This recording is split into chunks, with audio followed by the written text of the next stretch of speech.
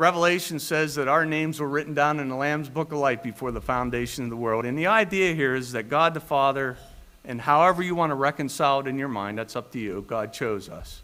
The Son concurred.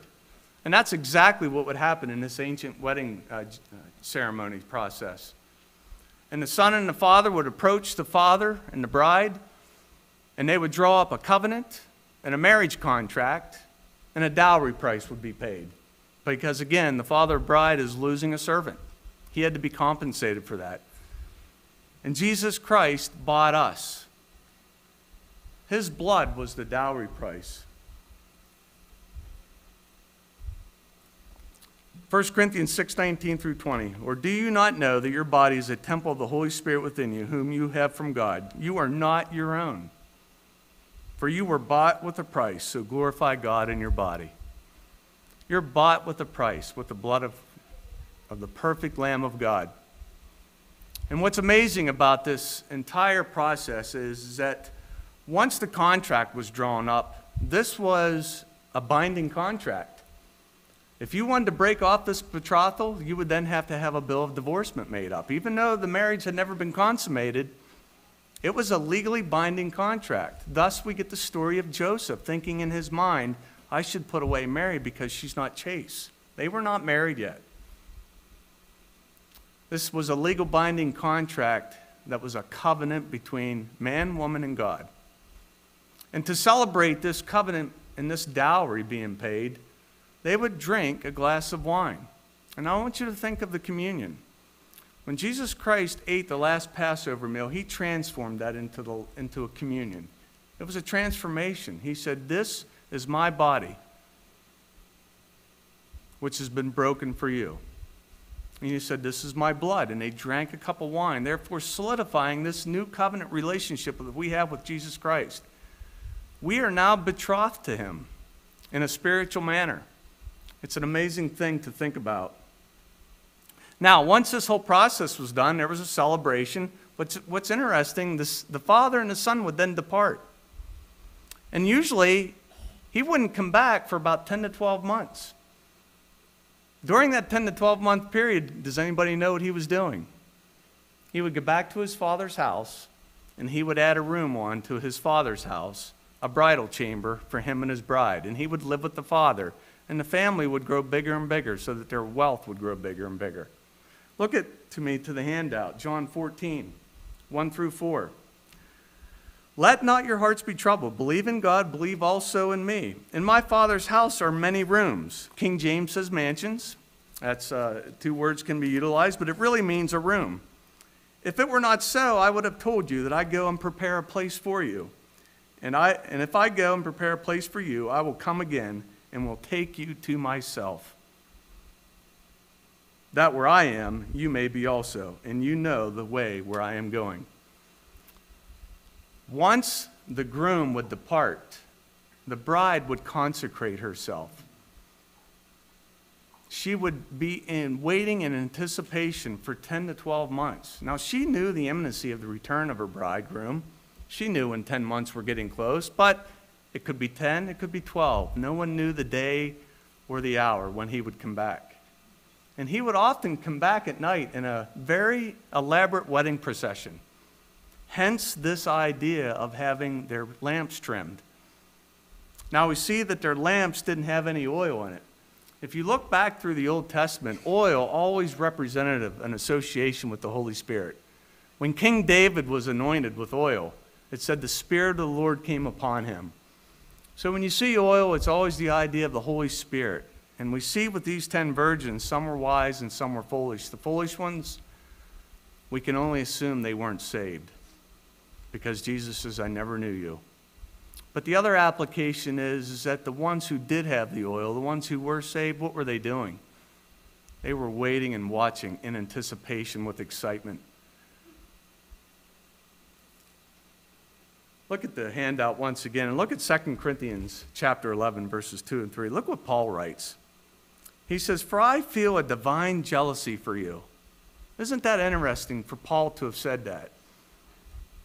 Since I betrothed you to one husband, to present you as a pure virgin to Christ. But I'm afraid that as the serpent deceived Eve by his cunning, your thoughts will be led astray from a sincere, pure devotion to Christ.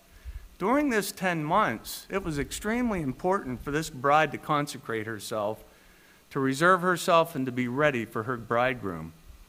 If the groom would find that she had become unchaste, that was a very big ordeal. It's not like in our society where virginity is something to be made fun of. This was something that was demanded. And this is demanded of the church that we remain pure. Now, I skipped over a verse, verse. This is a good time to go back to it. Look at Hosea 5 4, the third verse down. During the tribulation, there's going to be a harlot that's named. This harlot is the church that is pagan. It's not the true church.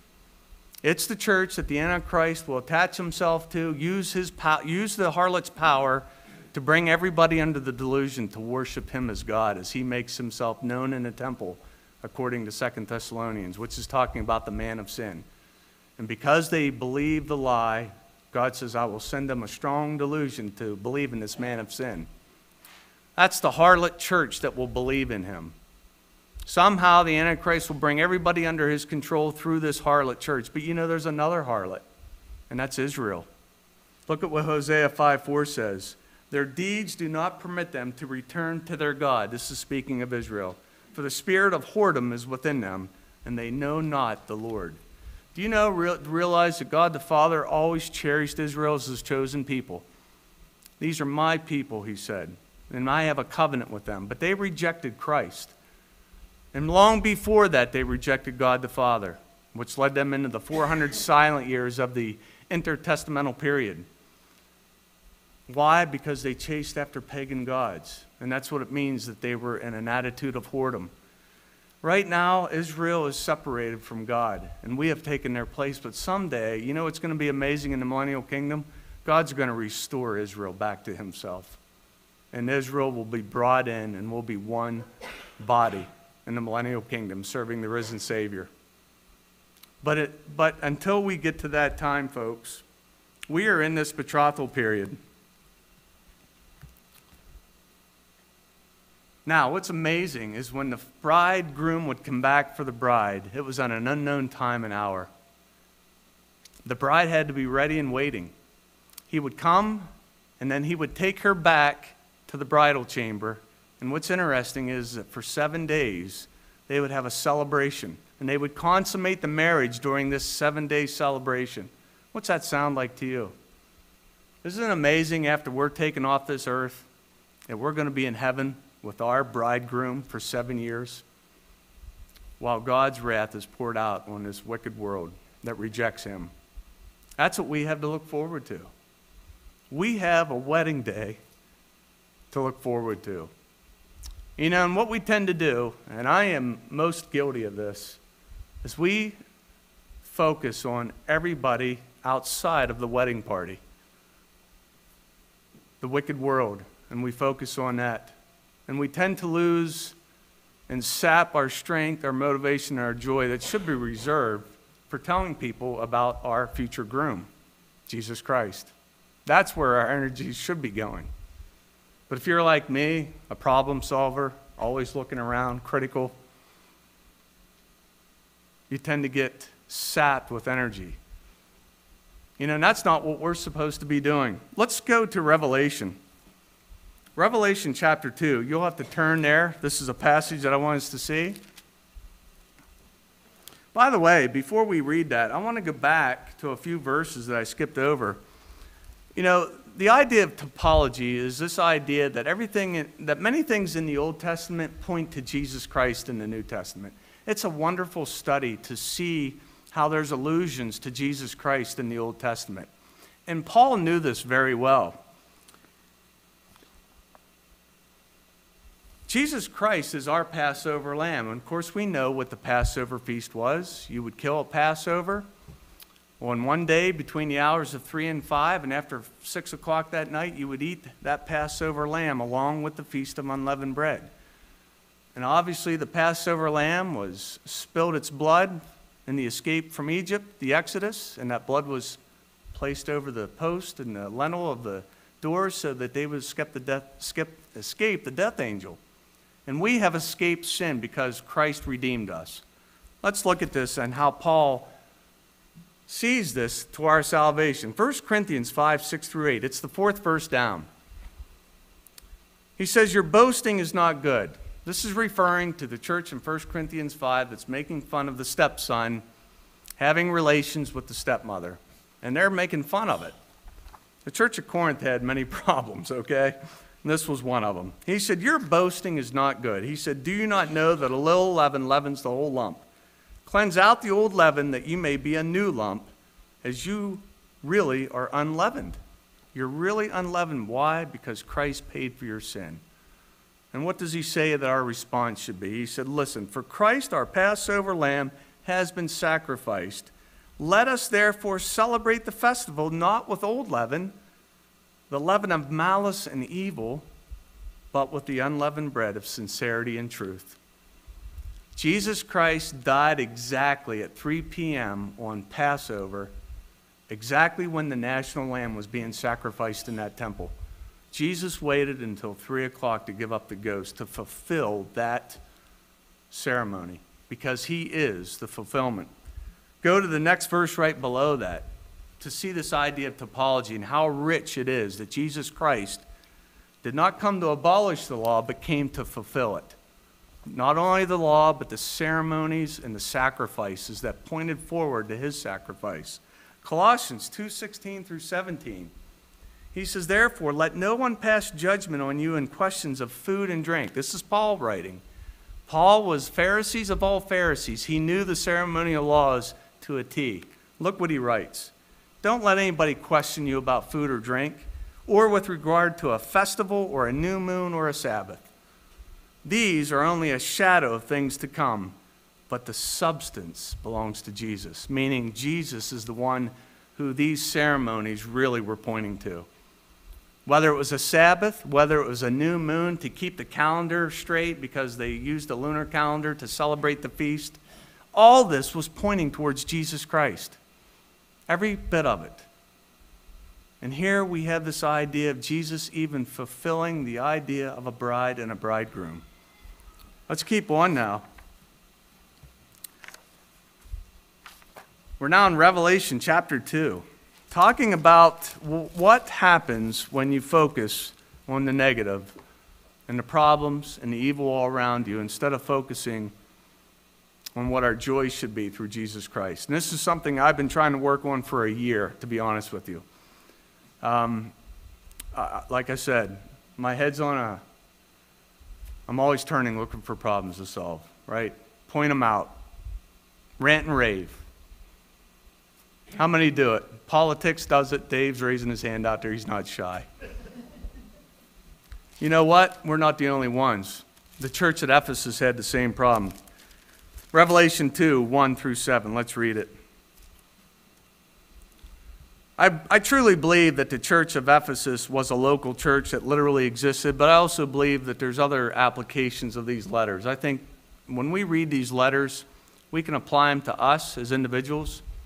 We can apply it to our own local churches, and we can also apply this, I believe, prophetically. And I believe that the church at Ephesus truly represented the first hundred years of the church history. You know, in the first hundred years of the, of the history of our church was critical. Let's read it, and I'll explain. Unto the angel of the church of Ephesus write, These things saith he that holdeth the seven stars in his right hand, who walketh in the midst of the seven golden lampstands. I know your works. And Jesus would always begin these letters with, I know your works. That's scary, isn't it? Jesus knows everything that you do, there's no secrets with him. I know your works and thy labor and thy patience, and how thou canst bear them who are evil. The early church, the apostles, the prophets, the disciples of the apostles, they were on the lookout all the time for Judaizers and for other evil people creeping into the church to try to spoil. Satan was very busy. And that's why the Holy Spirit didn't mess around when he killed Ananias and Sapphira. Am I getting the names right? He didn't mess around with that because they lied about what they had sold and what they had given. Let's read on. And how thou canst bear them who are evil, and thou hast tried them who say they are apostles and are not, and hast found them liars. There was only 12 apostle folks, and that was it. Those who had seen the risen Savior and directly got the commission from him. But some said they were apostles, and they were not. And you have borne and hast patience, and for my name's sake hast labored and hast not fainted. Nevertheless, I have somewhat against thee, because you lost your first love. You know, the church at Ephesus got so focused on problems that they forgot about the good news of Jesus Christ. They, just, they, they had dried up and they had just become bitter and jaded. You know, that can happen to us.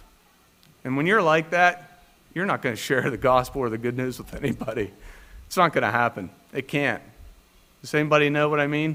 Does Anybody ever feel that way? Let's read on. Verse 5 says, Remember therefore from where thou art fallen. Remember. It kind of reminds me of what Jesus said to Paul when he petitioned him three times to take this thorn in the flesh that he had, this messenger of Satan that buffeted him. He said, My grace is sufficient for you, Paul. Remember from where you were fallen when I came to you and blinded you and said, Listen, you're persecuting me. I am the church. And that's when Paul just said, I can't believe it. He was revealed, it was revealed to him. And John here records what Jesus says Remember where thou art fallen and repent and do the first works. What's the first works of the early church? Sharing the gospel. Do the first works. Or else I will come unto thee quickly and will remove thy lampstand out of its place, except thou repent. But this thou hast, that thou hatest the deeds of the Nicolaitans, which I also hate. I'll end there. The Nicolaitans were a group of men. Nicole means to have power over authority. Lation means laity over the church. These men were trying to come in and not only were giving a license to sin, and to live licentiously, but they were also trying to exhort power over the church outside of the authority of the apostles. These were a wicked group of men who later on did get a foothold in the church. And I am convinced that these were the men who started the papacy in the, in the Catholic Church and plunged the church into the Dark Ages. I don't want this to be me, and I certainly don't think you want this to be you, to lose your first love. But I think many times we do because we live in a hypercharged world of politics. I find it amazing that people get more passionate about the Second Amendment in the Constitution of the United States, written by fallible men, than they have passion in God's Word, written by the hand of God. And that's silly, but many Christians are like that. And I used to be one of them, I must admit. I remember one time I was 13 years old, and of course, you know, around Christmas time, you'd go to the mall and they'd have all these craft stores set up. You could buy Christmas gifts for people. And I remember one time when the Western belt buckles were in style. Do you remember those big brass belt buckles? And they would paint things on them. I Dave's back there laughing. I remember buying one. It had a skeleton on it with a guy clenched a rifle in his hands. And it says, I will give up my gun when they pry it from my cold, dead fingers. And I thought that was the greatest belt buckle in the world. 13 year old patriot, you know, I'm going to go into the Marine Corps. And, you know, the passion that we have for things sometimes totally outshines what our passion should be for God's Word and our future groom. Why is that? Why do we dry up over all these silly things that take our attention away from the groom? Why is that? Why do we have such passion for these things that are going to be burned up someday? I don't know. I think we're all prone to it. But you know, it reminds me of what God told Cain. And I think this is true for all of us. When Cain was downcast and the wheels were turning for his gift because it was rejected, because it was the works of his hands, God says, Why are you downcast? And God says, Listen, I know what you're thinking. He said, Sin crouches at your door. He said, But you better master it. I think sin can crouch at all our doors at one time or another. And we could recognize it and master it, or we can let it go unfettered. But God tells us to master it, bring it under our control. And we need to do that, I think, in this time that we live in. Let's go to John 21 now. I think this is an amazing passage. And it's one of those passages that if you truly don't understand just a little bit of Greek, you miss the entire point of this passage. And I, I'm pretty sure that everybody knows enough Greek to know what the three Greek words for love is, correct? Agape, love, unconditional, phileo, brotherly, eros, the intimate love between husband and wife. Keep that in mind as we read this passage. John 21, 15 through 17. This is after the resurrection of Christ. So when they had dined, Jesus said to Simon Peter, Simon, son of Jonah, lovest thou me more than these? Remember what Peter had just done when he denied his Savior three times. Keep that in mind. Jesus asks, Do you agape me more than these? Peter says, He saith unto him, Yea, Lord, thou knowest that I phileo you. He saith unto him, Feed my lambs. He said to him again the second time, Son, Simon, son of Jonah, do you agape me? He saith unto him, Yes, Lord, thou knowest that I phileo you. He said unto him, Feed my sheep. He said unto him the third time, Simon, son of Jonah, lovest thou me? And this time Jesus takes it easy on Peter and says, Do you phileo me? Peter was grieved because he had said unto him the third time, Lovest thou me? And he said unto him, Lord, you know us all things, and you know that I phileo you. Jesus said unto him, Then go feed my sheep. You know, isn't it interesting that Peter could not bring himself to say, God, I love you with all my heart and everything that I am, unconditionally. There's nothing that I won't do for you. Do you think Peter was holding back because he was being sincere and genuine about who he was? I just denied my Lord and Savior three times in one instance of a trial. I couldn't even stick up for my Savior. I think Peter was being honest. And I think Jesus appreciated that. Jesus certainly wanted to hear the answer agape love, unconditional, undying, I will do anything for you. But you know, many of us, I don't think we have that love for Jesus in us. It's hampered by the sin of this world and by what we focus on, what we covet. But you know what? We should get excited about the imminency of the return of Jesus Christ. And that should help quell all this negativity that's all around us. Because I do believe we are living in the last days that Paul talked about when he addressed Timothy. Maybe we'll get to that if we have time. Oh, actually, we're right there in my notes. Let's turn there now to 2 Timothy. I know I'm, try- I know I'm tying three completely distinct passages together, but I think they, they make a very good message for us. You know, I am certainly not a chicken little type person that says the sky is falling. I don't believe in predicting, and I'm not a Harold Camping type guy that sets dates. But you know, Paul wrote to Timothy here in 2 Timothy chapter 3. I've read this several times in Sunday school. I, this is one of my favorite passages because I believe it's the only passage where Paul gives us a clue of what the days and years leading up to the return of Jesus to catch his bride up into the air. And, and be not mistaken, folks.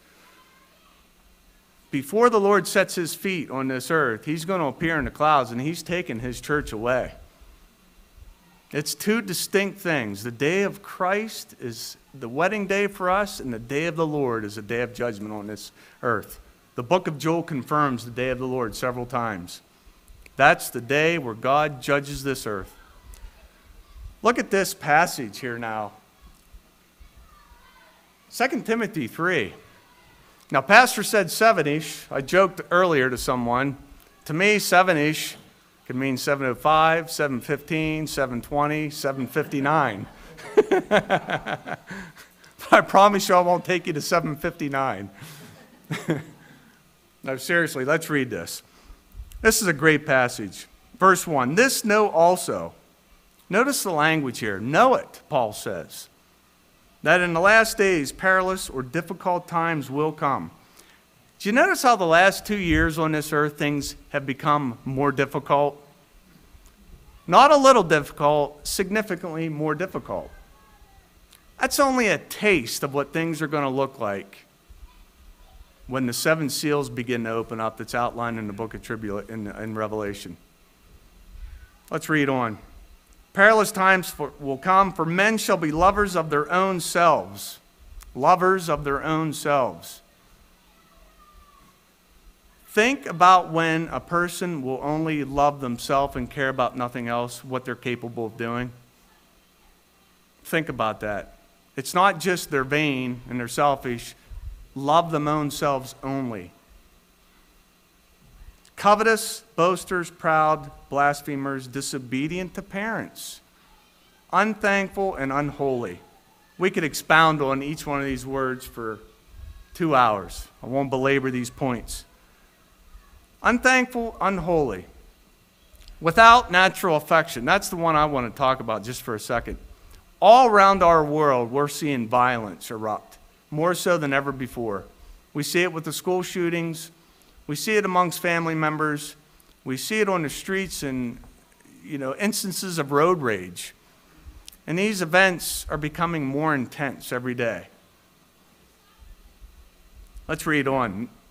False accusers, incontinent means to be uncontrolled, fierce, despisers of those that are good. And that makes me think of something. We live in a world now where a lie is turned into the truth, and the truth into a lie.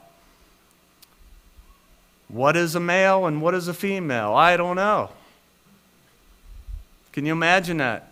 Can you imagine a dignified politician, someone who's going to be sitting on the Supreme Court to say, I can't define a female? I don't know what that is. That can be heady, that can be high minded. I don't know what that is, but it's a clue of where we're at.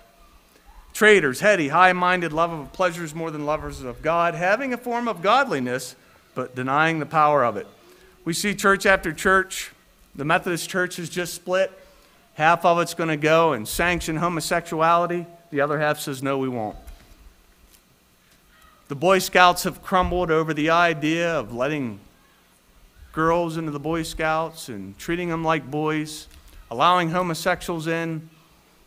We see it slowly encroaching on the sphere of God in this idea of unholiness. Let's go over to chapter 4 now of 2 Timothy as we begin to close. Do you see what we can be focusing on? A lot of evil to focus on. Keep your mind off this. Know it's there, but don't dwell on it. 2 Timothy 4, verse 3 For the time will come when they will not endure sound doctrine, but after their own lust they shall heap to themselves teachers having itching ears and they shall turn away their ears from the truth and shall be turned unto fables. That's the time we're entering in, into this world. Fables. It's a fable to say, I don't know what a male or a female is. That's a fable. That's insane. God's made that so crystal clear. How can you ever un- deny it, right? What's the focus of you as the bride? What's your focus? I hope your focus is on this oncoming day, this unbelievable day, when Jesus Christ will appear in the clouds, according to 1 Corinthians 15 and 1 Thessalonians chapter 2. It never says he's going to set foot on this earth at that time. He's going to stay up there in the air and he's taking us with him. Why is he going to do that? Because we've already been judged. And we won't be here for any of this. And I want you to know I, the, the return of Jesus is eminent and growing more eminent every day. Are you ready for him? Will you focus on him as your groom? And if you do, what will that result in in your life? If you quit dwelling on the negative, like I've always done, and I'm working on it, believe me. I don't watch the news, I don't pay attention to too many politics, and I don't care anymore. I don't. I will certainly vote and do my civic duty because I think it's a good work to uphold Christian moral principles. But whatever the chips may fall, you know what? It's one closer to the return of my bridegroom to catch me away. And I think we're there. We're close. what will you do with this excitement? You know, if someone would rescue you from a burning building, the flames are all around you, all four walls, and you know you're going to die, and someone bursts through that wall, and it's a fireman with a hose who sprays you down with water, picks you up on his back, and carries you out, what will you do? You will spread the good news to everybody you know. Look what this man did for me. That's how we should be talking about the bridegroom. Tom Palmer's here and he's trying to get us revved up with evangelism, and I know it's hard because I don't think everybody has the gift of evangelism. It's not an impulse for all people, and I think we need to be okay with that. But at the same time, I think there's something different between an evangelist, someone who has this unbelievable impulse to share the gospel, and someone who wants to share the good news of what Jesus did for them. That's different. You can share the good news and be an evangelist that way without ever having this drive or maybe this gift by the Holy Spirit to be an evangelist by the grace of God. Just tell the good news. The good news I was saved, and my bridegroom's coming to get me someday. That's it. You got the gospel sewed up right there without all the theological requirements. I hope you do master the theological, theological requirements of the Romans Road and all the things that are pointed out to us to help us really tailor and show that we know our scriptures well to someone who is not a believer. We should be a defender of the Bible in those areas. But if, you, if you're someone who just can't do that, then don't worry about it. Share the good news about your bridegroom. Let's bow our heads. Lord, we thank you, Lord, for what you've done, that you became our propitiation, took the wrath of God on you, Lord redeemed us. You were our substitute, the just dying for the unjust, Lord. I pray that we'd wake up realizing, Lord, that every day that we are not our own, but we are bought with a price, and that we would love our neighbor as ourselves, love one another, focus on your Son and what he did for us. Lord, I pray you would put that spirit within us every morning as we wake. Lord, I thank you for this church. I thank you for protecting it and guiding it. And I pray that each and every believer here, Lord, would leave pondering on your words, and they are yours. Lord, help us to be excited about the bridegroom. Lord, I pray that you'd be with us now as we leave here today and just bless our week. In Jesus' name we pray. Amen.